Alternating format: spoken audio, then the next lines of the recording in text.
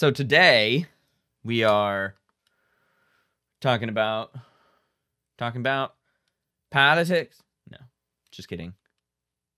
Oh no, I didn't want to undo that. Let's redo that. Okay, there we go.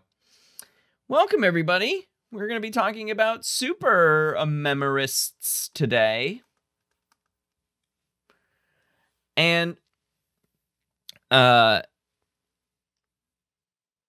yeah, yeah, Cammy. The the they're gonna be on uh, Brightspace at the end of um the week. At the end of the week, as soon as we're done with class on Friday. Okay. So two people that we're gonna talk about today um are known for their super memory. Okay. Are known for their super memory. And uh well, it turns out that we can apply some of the theories that we talked about. So, to recap what we were talking about the other day, we were talking about capacity theory versus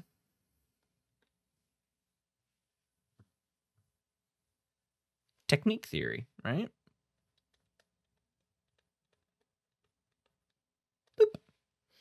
Oh, I should probably finish that word. Theory.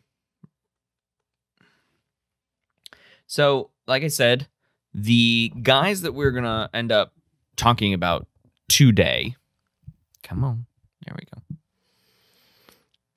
We can sort of assess through that lens through either of those lens.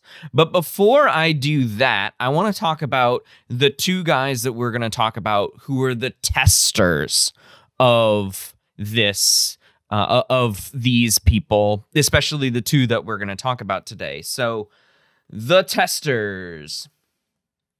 So, these are the psychologists. And one you should be for very familiar with and one you may not be as familiar with. So, the one that you should be familiar with is the one who's above me right now. This guy. This is Alfred Binet. So, can somebody tell me in chat who they remember Alfred Binet being? He was an intelligence test designer, and researcher. Right? And then the other guy, who I will put on the screen right now, this is Jean Martin Charcot. I should put the name up there for you. So this good looking guy, look at him with his pin right there. It's metal, you know? So, Jean Martin Charcot. And um, I don't think I, I, would have mentioned him in in any other um, classes classes, but he was also uh, a uh, intelligence researcher among other things. He was like an all around guy. So these are the people, Binet and Charcot. So you can imagine the the first two guys that we are going to talk about were in Europe because these two guys are French. So let's talk about the first super memorist. His name was Jacques, I think Jacques, yeah, Jacques Inaudi. And um, he was Italian. Okay. And this is late 1800s. Okay. So, what could he do? The interesting thing about Inaudi is he was illiterate. Uh, let's spell this better. Let's do this better. And he was a shepherd. So he so things to know about Inaudi that make his abilities quite intriguing is that one, he could not read, and two, he wasn't even in a position to learn how to read or go to school or anything. Like he was a lower class farmer shepherd. Okay. He was taught the numbers 1 to 100. So he knew 1 to 100, obviously in Italian. Uh, so he could do that. He could do that, but he couldn't do anything else. And one of the reasons we'll say why he, you know, knew 1 to 100 is cuz he needed to count his flock, right? He needed to count his flock. But one thing that shocked people about him was that after he learned how to count from 1 to 100, he began to um he began to do arithmetic.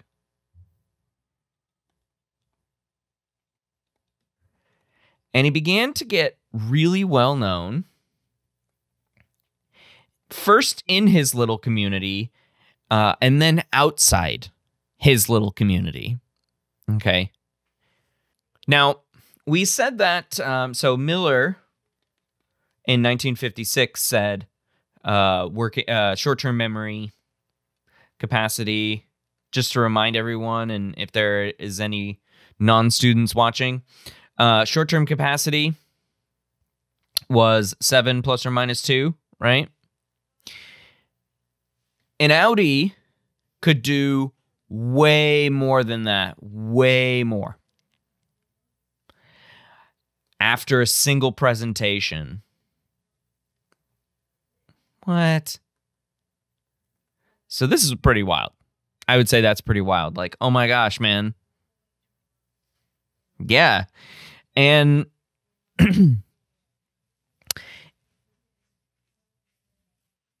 how many of you can do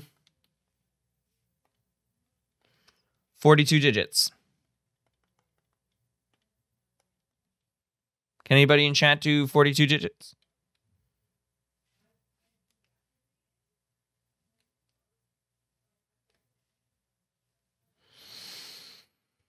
Hmm. Or can you do 42 digits in a single pre- after a single presentation or um, without knowing what the numbers look like?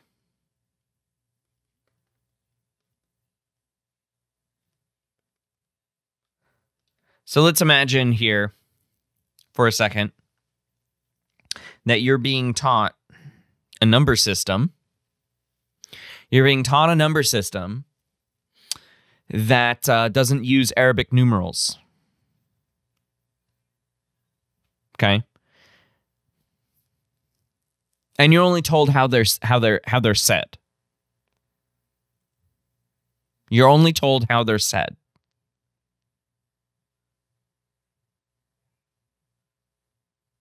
Could you do it? Could you even do could you even do 5? Could you even do 9? How about 42?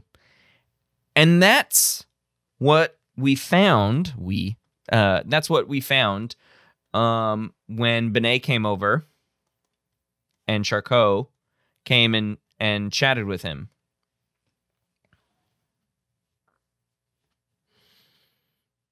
And Binet concluded superhuman capacity. Seems strange, though, doesn't it? Superhuman capacity. But then again, and this was specifically auditory information. But then again, he could repeat 42. So maybe, maybe he could just do things like that. Now, the other thing that he could do was he could take the cube root of a nine digit number. So let me, let's figure out a nine digit number. Um, and somebody with a calculator that's not doing anything right now can, can help me out with this. Uh, so let's take the cube root of a nine digit number. Uh, let's do three, seven, zero, one, five, two, eight, nine, four. Look at that. Did I use all of them? I did. No, six isn't in there. I missed six. So somebody take the cube root of that. Please tell me you your calculator can take the cube root. Your phone can take the cube root. It's probably been a, a while. So that equals thanks, Hannah. Uh 718 basically. 718. I almost got a whole number. I almost got a whole integer. Look at that. Okay, so the first conclusion. I'm sorry. Um, I said, uh, uh, Charcot. I said Binet concluded this. No, no, no, no. It's actually.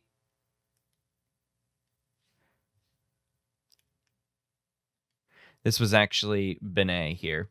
Uh, change the pen. Nope. Okay.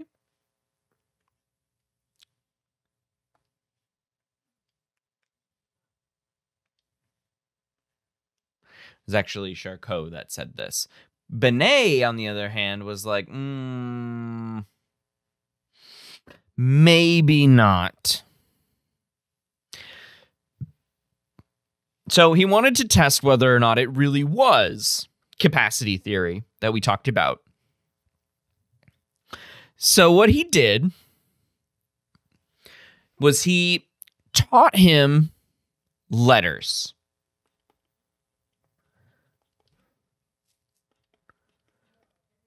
Taught him the letters, at least how they sounded. Since he was illiterate, he needed to be taught how they sounded, and it was going to take a while to do things like um, like learning what they look like and things like that. Okay. So he definitely wanted to make sure that uh, it was going to be presented auditorily because if auditory capacity was his key to success, okay, then he should have no problems with knowing what letters sounded like, you know, whatever the letters are in, in um, French or Italian. I'm, I'm not entirely sure how Binet did this. So he taught him the letters and he said, let's try it. Let's try this again let's try this again. And what what happened with Inaudi was that um, Inaudi normal seven plus or minus two capacity with letters. Bummer, right? That's a real bummer.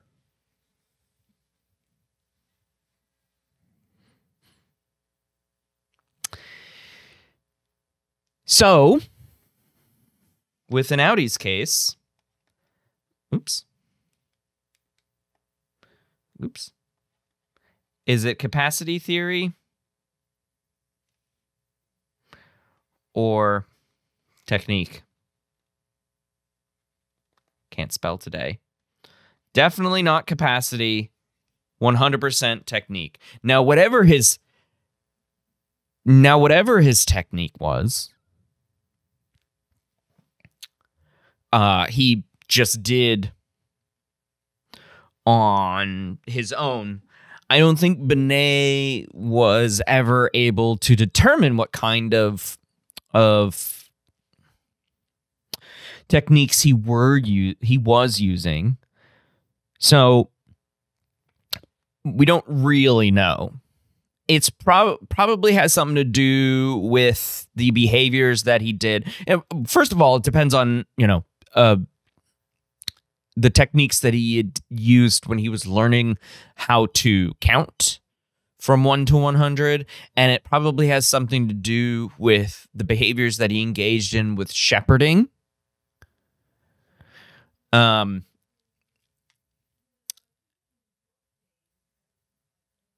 because there really really wasn't much there really wasn't much else that he could do now the arithmetic thing was really interesting he probably learned uh, how to separate various uh, various items.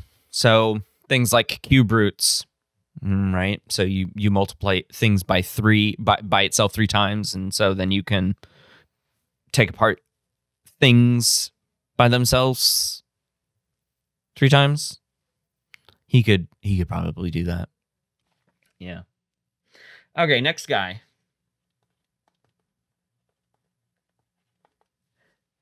Diamondi. Now, I couldn't find any uh, things about Diamondi, unfortunately, but this was in a paper written uh, written about him. So we'll just have that behind me. How about that? Okay. So Diamondi, another European, same time period he was Greek. Okay. Both Charcot and Binet tested him. His thing, his thing was images. He could remember a ton of visual images. Okay. So, to test Di- uh, Diamondi. You know, learning learning uh, from past mistakes. Charcot and Binet devised the following test, mostly Binet. So Binet test.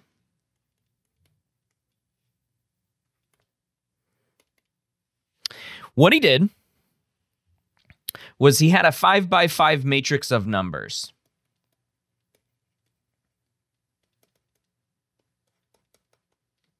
Something that we'll we'll draw here.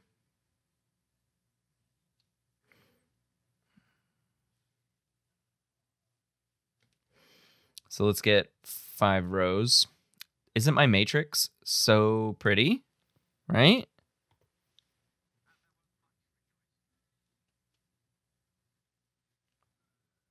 Three. Yeah, I need five. Yeah. All right. And then whoop, whoop. That's not that doesn't look that great. Okay. And uh one, two, three.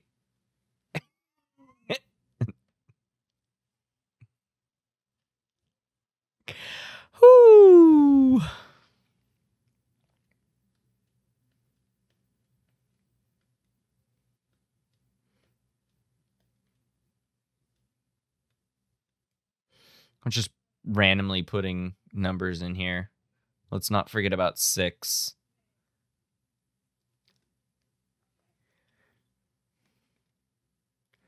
There we go. Sudoku? Yeah, yeah, yeah. Exactly. Uh, so we got a six in there. What? Uh, uh, four, uh, two fours. Okay, good. Go me. Um, Uh, there we go. Oh, nope. One more spot. Uh, two more spots. Um, let's make that one a nine and then make that a zero. There we go. Cool. So we asked him to memorize these 25 numbers, right? See, these are 25 numbers.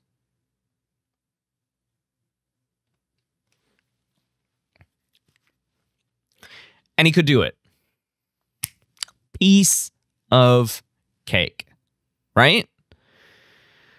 Because what he did was he just took a basically he was like click click kind of but click click looking at the grid and so he knew where they were okay and then you would ask him to recall the last number so we'll we'll just say the last number which is the last column last row and so that would be this 2 right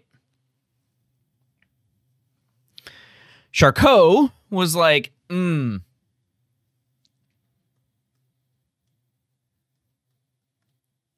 Totally capacity.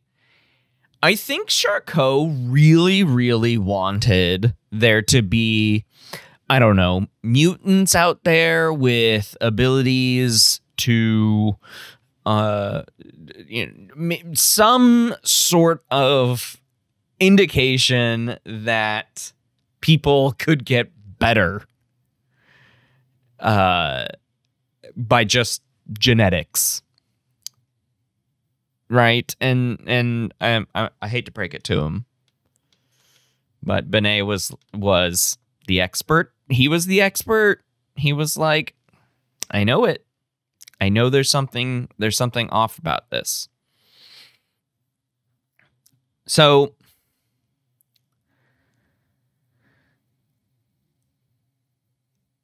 if Diamondi was using his picture, click, click, click, click, then he would have no trouble figuring out the two. Okay. Like you could by just literally looking at it, right? So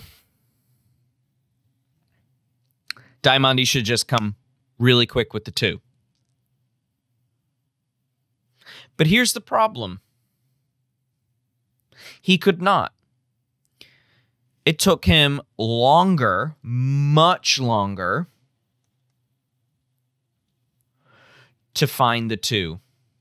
Find, you know, our, our example here is two. Okay.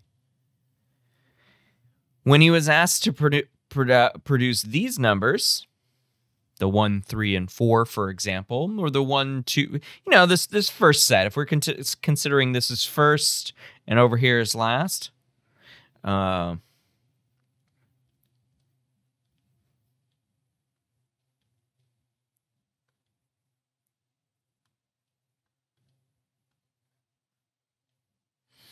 And so there was something there was something about the location. So there was a correlation between location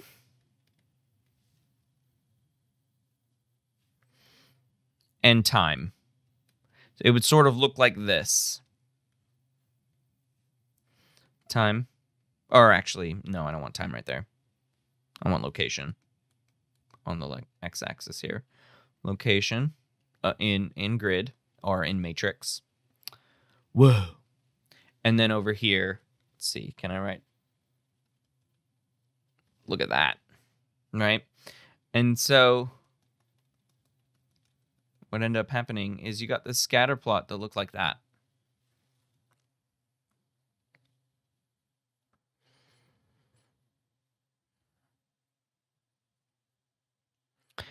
The other interesting thing is if we go back up to this, so we have uh, the positive diagonal, which is this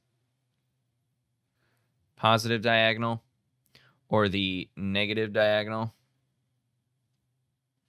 Okay. One being in the center there. Look at that. One being in the center. If he was asked to report only numbers in the positive or negative diagonal, so either of those diagonals, he took considerably longer than asked if to report any numbers in the rows. So it wasn't that he could remember the grid itself. Here's what Diamondi was doing Actually, I need. This is what he was doing. I'll do it up here, actually.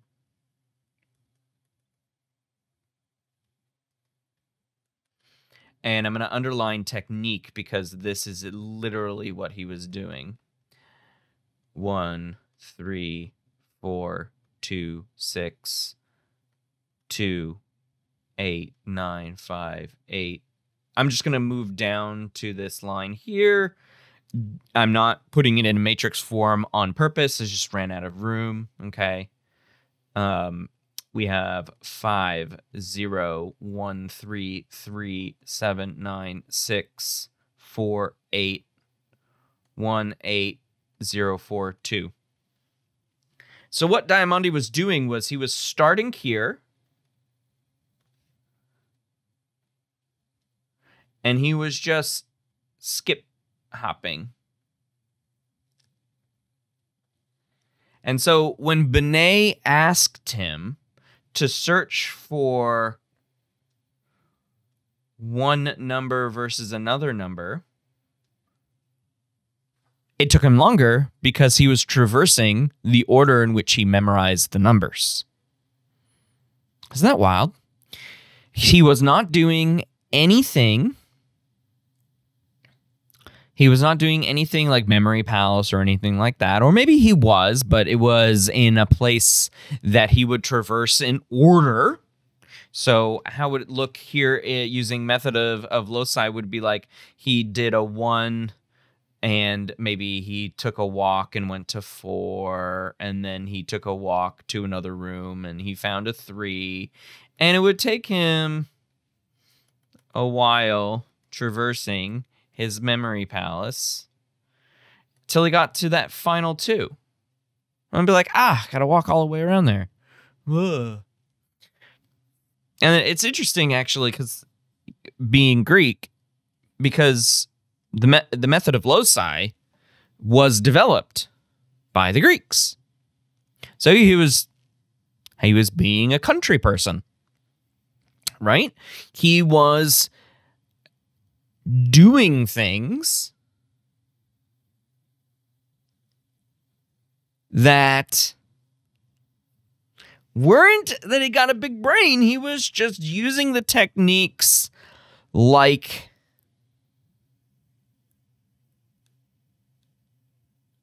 like a smart person, right?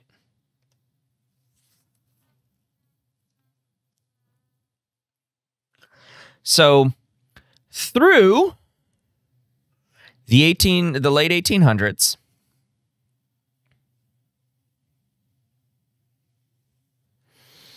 we still have no we still have no super memorists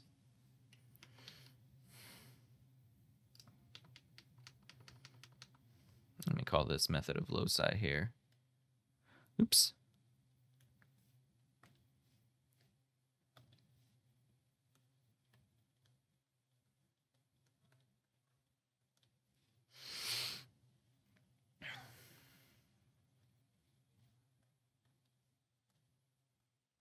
No huge memories. Yet.